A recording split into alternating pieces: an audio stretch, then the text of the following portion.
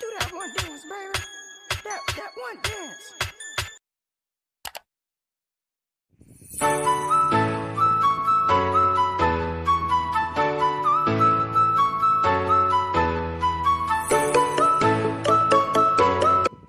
Hello everyone! Meron na naman po tayong bagong video. It's reading time! Nakikita niyo po dyan, nagbabasa po si Ilon. Charot.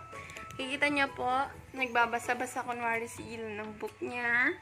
Ngayon, ang binabasa niyang book ay pinamagatang Peekaboo Moo. Yan.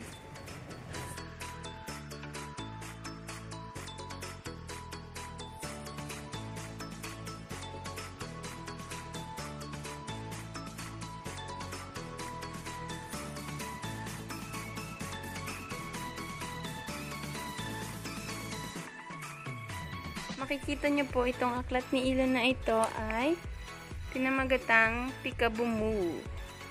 So, with Hidden Mirror. It was illustrated by Kate Merritt. Buksan natin. Yan. At meron siyang Peekaboo. Snack. Meron din siyang another Peekaboo. Wow. Peekaboo.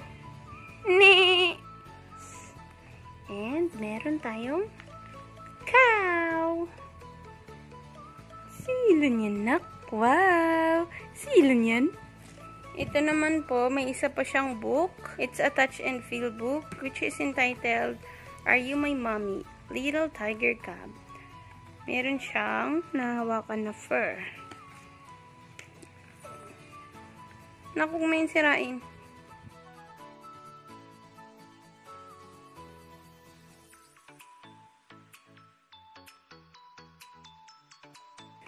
Wag yan. Gusto mo yan? Kikita yung sauce mo? Wag yan. Ito na lang. Mas matigas. So, itong book na to, super kapal. Ng isang page.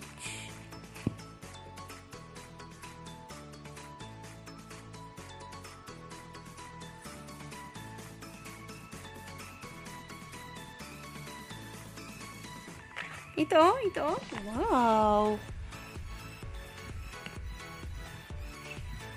Yan po yung isa niyang book.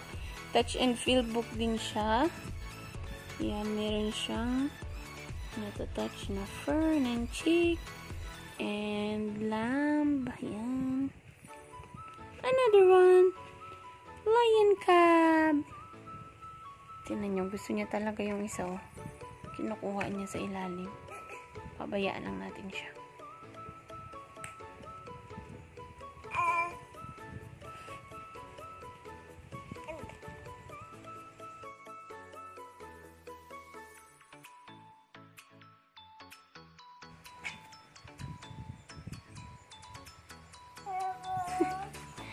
Tinan nyo, pag nakakakita siya ng salamin, kinikis niya.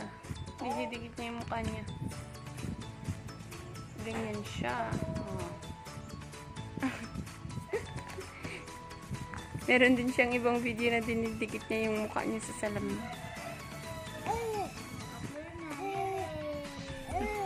Mm, yay.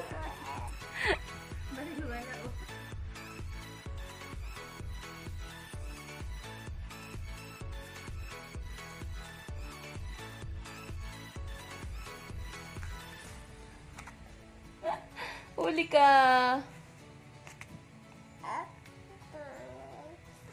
Huli ka. So, yan guys. Makikita nyo na enjoy na enjoy talaga si Ilan sa mga books niya. Especially dyan sa Peekaboo niya na book. Dati, trinay kong uh, basahin yan sa kanya. Ayaw niya. Pero ngayon, gusto niya na. So, ganun lang. Rotation lang talaga ng mga book. So, yun lang po ang video namin. Bye-bye!